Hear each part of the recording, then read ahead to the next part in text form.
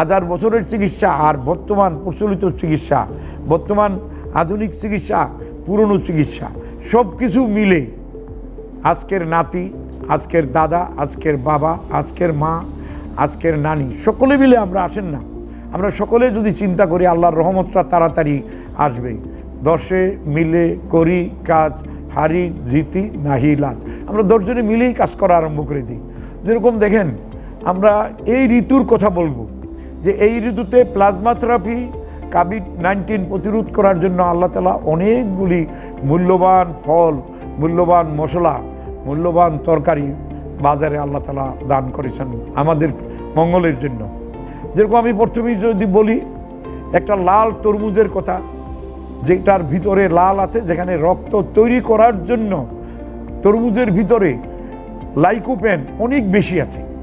যেটা প্লাজমো থেরাপিকে সহযোগিতা করে যে লাইকোপেন, সেটা তরমুজের ভিতরে আছে। আবার যদি আমি বলি যে একটা বিট, একটা গাজর, এটাও লাইকোপেন তৈরি করে। আর টমাটোর ভিতরে এত বেশি মূল্যবান লাইকোপেন আছে যেটা আমাদের প্লাজমো থেরাপি তৈরি করতে বিশেষ সহযোগিতা করতে পারে। চাইলে আমরা যদি জানি যে আমাদের রক্ত ছাড়াও আমাদের খাদ্যের ভিতরে প্লাজমোথেরাপি সহযোগিতা পাবো আমরা, সেখানে এটা বলার জন্য আমাদের ভয় করার কোনো কারণ নেই। এটা বলার জন্য লজ্জা কোনো কারণ নাই। পৃথিবীতে যত বিজ্ঞান আসছে, সেগুলো অনেক সাধারণ মানুষের ভিতরেও বিজ্ঞান এসে গেছে।